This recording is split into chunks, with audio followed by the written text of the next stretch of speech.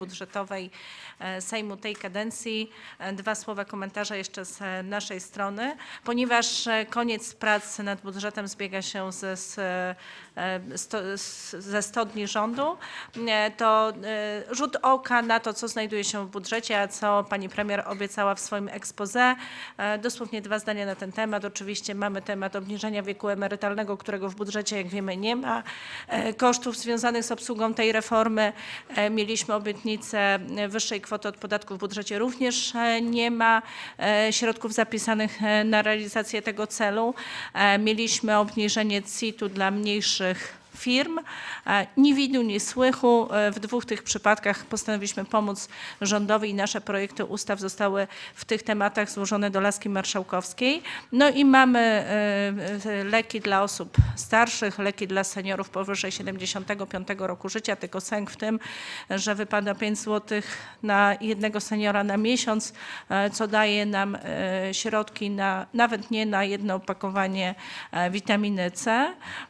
I mamy jedyną zrealizowaną obietnicę, ale cienkimi nićmi szytą, czyli e, 500 zł na każde dziecko. Wyszło jak wyszło, na każde drugie i każde kolejne. E, Natomiast wiemy też, że podstawowy problem z finansowaniem tego projektu, co będę podkreślać na każdym kroku do znudzenia, e, jest kosztem zwiększenia deficytu w roku ubiegłym. Tak naprawdę to nie tak, że mm, e, minister Szałamacha wyczarował ekstra środki na ten cel i z dodatkowych podatków i tu e, warto byłoby się przyjrzeć bliżej. Możemy już z perspektywy e, no, e, paru tygodni spojrzeć na to, co nowe podatki zrobiły dla naszych mieszkańców i według e, e, raportu Komisji Nadzoru Finansowego dane są druzgocące. E, Podatek przykładowo bankowy miał się nie przełożyć na, na mieszkańców naszego kraju, a dane mówią jednoznacznie. Z 20 największych banków w Polsce 15 podniosło ceny kredytów mieszkaniowych, 14 podniosło ceny kredytów konsumpcyjnych, 11 podniosło ceny rachunków indywidualnych. E, W 11 przypadkach także niżej są obecnie wyceniane depozyty lokowane przez klientów indywidualnych. Banki planują zamykanie oddziałów, banki planują zwolnienia. To jest właśnie nowa, dobra zmiana, którą e, zafundował nam rząd. Mamy awanturę wokół drugiego podatku, który ma finansować e, różne nowe zmiany e, wprowadzane przez e, premier Szydło i jej rząd. Jak wiecie Państwo, ustawa miała być gotowa jeszcze w trakcie kampanii wyborczej.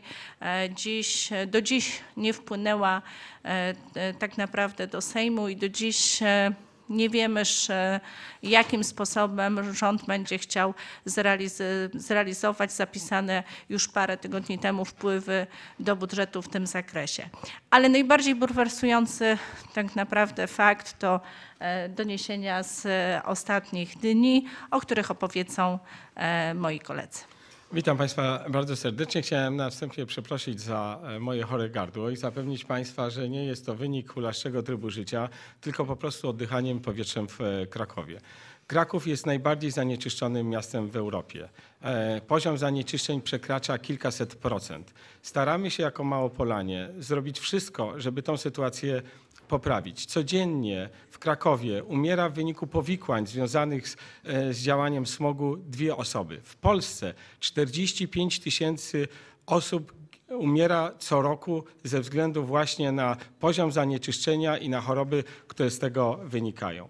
W budżecie znalazły się oczywiście pieniądze na program 500, który ma zadbać o to, żeby Polaków urodziło się więcej. Ja się pytam, czy nie taniej by było zadbać o tych, którzy są już żywi i mieszkają w Polsce i żeby doprowadzić do tego, żeby ochronić ich zdrowie, ochronić ich życie.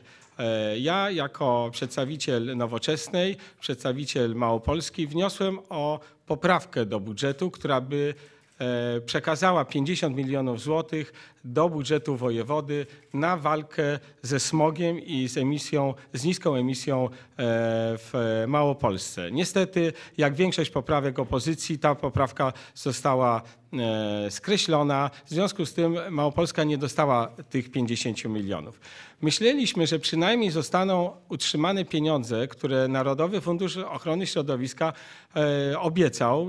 Była już promesa na 20 milionów złotych, które miały być wkładem własnym do projektu LIFE, który przygotowała Małopolska, który został uznany za najlepszy projekt przedstawiony przez e, Unię Europejską, która wyasygnowała 48 milionów na ten cel. W związku z tym brak tych 20 milionów powoduje, że 48 milionów złotych przepada, e, które mieliśmy już e, przygotowane. Gdzie te pieniądze poszły? No niestety, te pieniądze zostały przeznaczone przez Narodowy Fundusz Ochrony Środowiska na ugodę z Fundacją Ojca I efekt jest taki, że mamy sytuację, w której w e, Toruniu ojciec dyrektor będzie się pluskał w ciepłej geotermalnej wodzie, a w Krakowie będą umierali ludzie.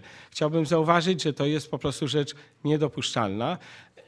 Wziąłbym też, e, chciałbym podnieść e, również jeden fakt, a mianowicie e, tutaj przedstawiciele Prawa i Sprawiedliwości przekonują i w sumie okłamują społeczeństwo, twierdząc, że wykonują decyzję sądu. Nieprawda. Ugoda przedsądowa polega na tym, że obie strony porozumiewają się przed sądem e, co do ugody i o warunków tej ugody. Nie jest to decyzja sądu, jest to ugoda zawarta pomiędzy dwoma podmiotami, które mają spór w sądzie. W związku z tym, gdyby nie było woli Narodowego Funduszu Ochrony Środowiska do zawarcia takiej ugody, to postępowanie nadal by trwało i wcale nie jest przesądzone, że Narodowy Fundusz Ochrony Środowiska by te pieniądze musiał wysygnować na e, zapłatę za roszczenia, które zostały przedstawione przez e, fundację związaną e, z działaniem em, e, tutaj w e, Torunia. Także więc, e, proszę Państwa, Kraków został pozbawiony możliwości e, wykorzystania środków unijnych i strata wynosi w tej chwili 48 milionów i proszę sobie wyobrazić, ile e, można by było e, uratować osób, które mieszkają w Krakowie, żeby nie cierpiały z powodu smogu. Dziękuję bardzo. Szanowni Państwo, moja obecność jest tutaj nieprzypadkowa, bo ja jestem rodowitą torunianką i w normalnej sytuacji e, bardzo bym się cieszyła, gdyby toruńska instytucja dostała pieniądze z ministerstwa, pieniądze rządowe. Natomiast tutaj mamy ewidentnie sytuacją kompletnie niemoralną.